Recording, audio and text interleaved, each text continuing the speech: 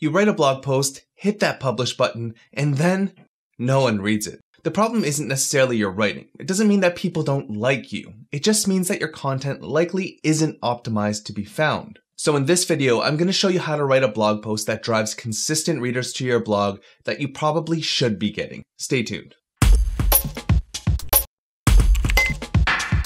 What's up bloggers? Sam O here with Ahrefs, the SEO tool that helps you grow your search traffic, research your competitors, and dominate your niche. Today I want to help you clear the confusion and turn that blank screen into an absolutely epic blog post that A, people want to read, and B, attracts the target audience you want. Now rather than focusing on subjective techniques like writing style, I'm going to show you how to build a consistent stream of readers with strategic topic selection and workflows. Let's get to it. First, I want to give you an idea of what consistent readership looks like and what it definitely does not look like. In order to gain readers, you need to get traffic. They're essentially the same thing. But the way you get traffic to your website will vary. For example, I'm sure you've seen multiple traffic source channels in your analytics platform like organic search, social, direct, and referral traffic. All of these people fall into different buckets in terms of how they discover and consume content on your website. You might also be using paid ads or email marketing to send readers to your posts. These are all great, but paid traffic is only good for as long as you're willing to pay. The same goes for your email list. You blast out an email, then the traffic fades to nothing.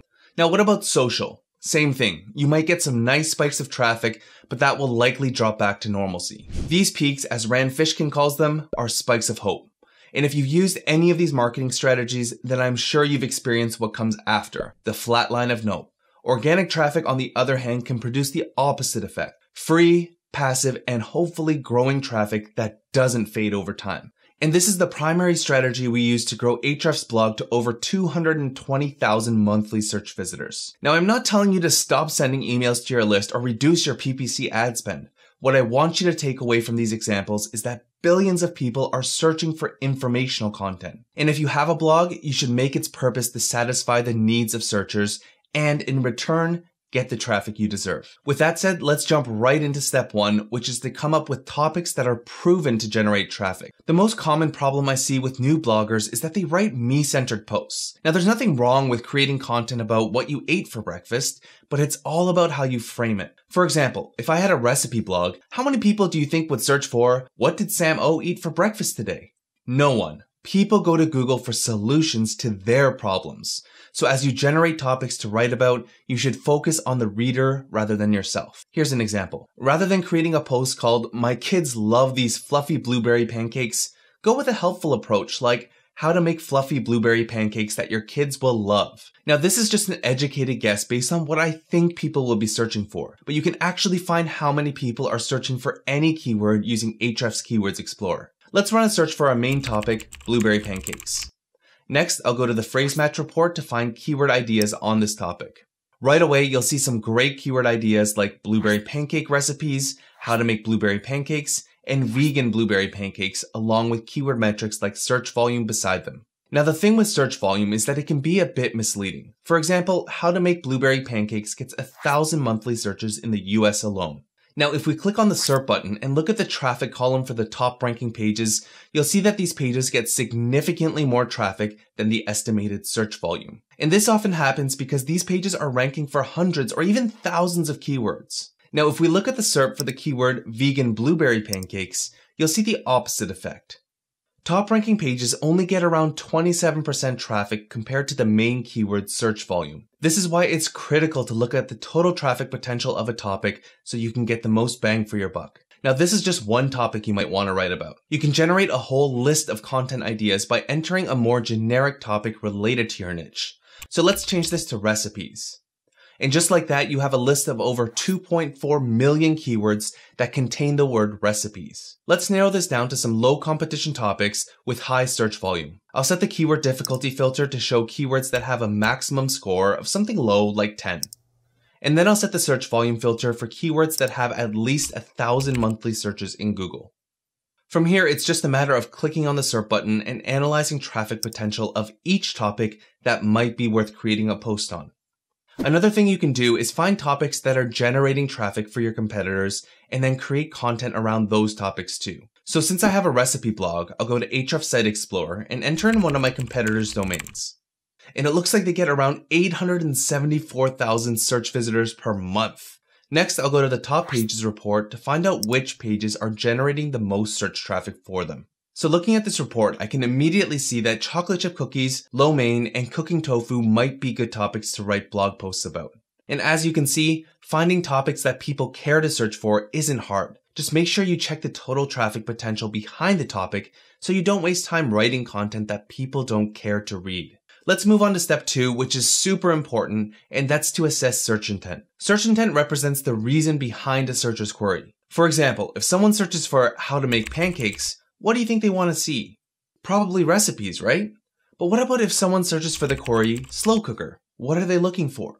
Do they want to buy one, read reviews, see a list of recipes, or something entirely different? The good news is that search intent is really easy to identify. All you have to do is search for the keyword phrase you want to rank for in Google, and the search results will reveal what I like to call the three C's of search intent. The first C is content type. This can usually be categorized into blog posts, product pages, category pages, and landing pages. Looking at the top 10 results for how to make pancakes, you can tell just from the titles that they're all blog posts. The second C is content format. When it comes to blog posts, a few common formats would be how-to guides, step-by-step tutorials, list posts, or opinion editorials. There are a lot of different formats, but this should give you an idea of what you should be on the lookout for. So for our example, how-tos are the dominant format. The final C is content angle. The angle is often depicted in the title as the benefit as to why someone should click and read their article. So this page is talking about creating perfect pancakes. This one is pushing the easy pancakes angle, and this one down here is about fluffy pancakes. Generally speaking, you don't want to stray too far from the angle that the top 10 results are taking, but note that angles will vary from topic to topic. Now just to show you how important this step is, let's type slow cooker into Google immediately you'll see that the search results are dominated by e-commerce category pages.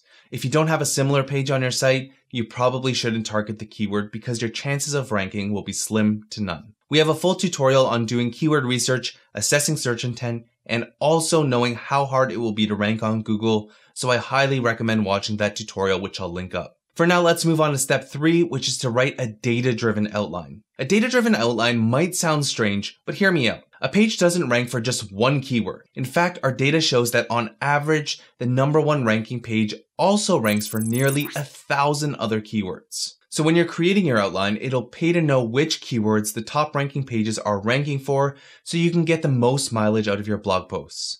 To do this, go to Keywords Explorer and search for the target keyword you want to rank for. Then scroll to the bottom of the page where you'll see the top 10 ranking pages along with their SEO metrics. And as expected, a bunch of these pages are ranking for thousands of keywords. To see the keywords that this page ranks for, let's click on the number in the corresponding row which will open up the organic keywords report in Site Explorer. Now to keep these keywords relevant, let's set a filter to only show keywords that rank in position 1 through 10. This will weed out a lot of irrelevant keywords that we don't need to target. A few interesting words that pop out to me are from scratch, recipe, and batter. Now, rather than trying to stuff these keywords into your post, it's best to think of these as subtopics.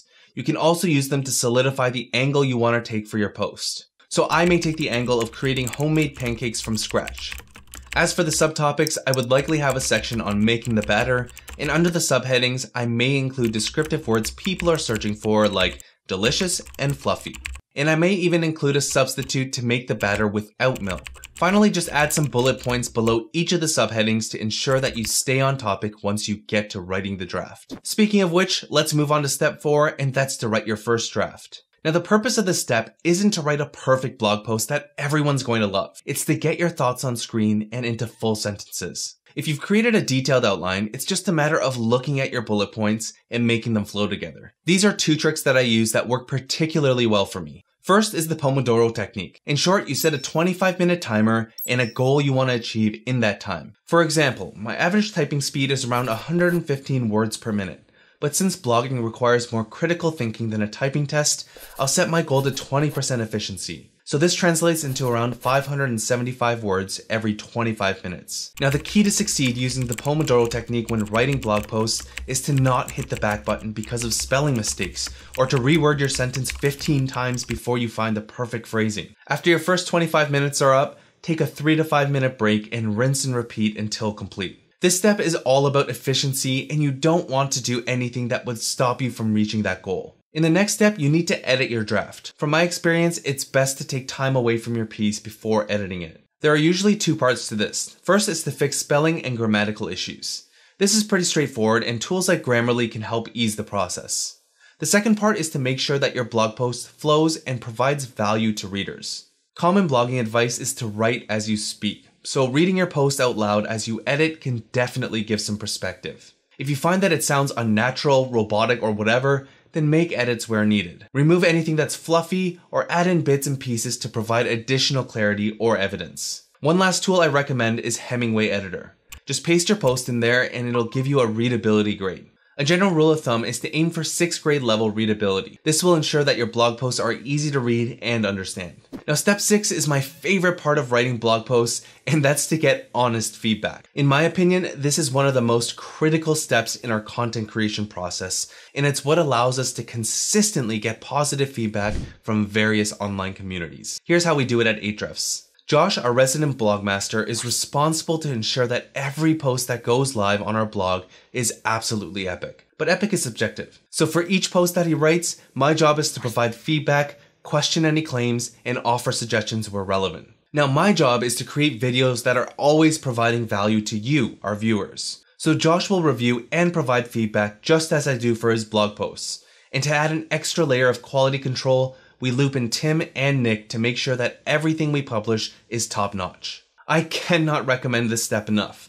Ask your colleagues, friends, or whoever to review your content so your team can consistently produce your best stuff. The last and final step is to create your final draft. By this point, all feedback should have been given. It's now your job to take that feedback and make decisions on what goes in the final version and what's not. Go through each touch point, and once all points have been resolved, you just need to do one final read through. Then upload, publish, and enjoy the fruits of your labor. Now, if you enjoyed this video, make sure to like, share, and subscribe. And if you have any questions about the writing process, leave a comment below and I'd love to help. So keep grinding away and I'll see you in the next tutorial.